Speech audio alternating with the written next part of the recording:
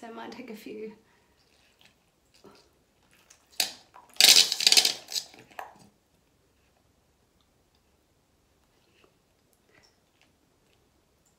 Still got some flakes of some crap in there, but that's definitely not.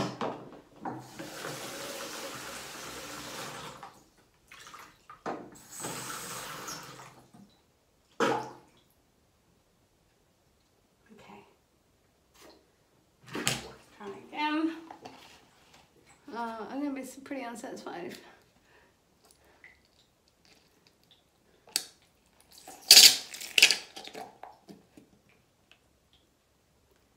Oh, oh. So when this happened, I actually get really dizzy, but I've got this awesome chunk just came out. That's what I was hoping for on the other side. They're still pretty gunky.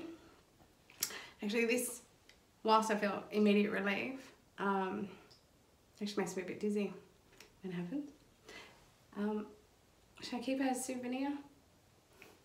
This looks like a frog or a bug or something.